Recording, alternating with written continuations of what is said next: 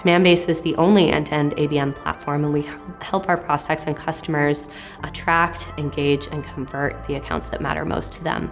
On24 is a great platform to work with. First and foremost, there's so much flexibility to the platform. We're obviously marketers, we're concerned with our brand. We want to make sure that we have full control over how our webinars are run um, and the experience of our prospects, so there's no inconsistencies there. The other element that's so important that's fascinating to me is the real-time data that's available.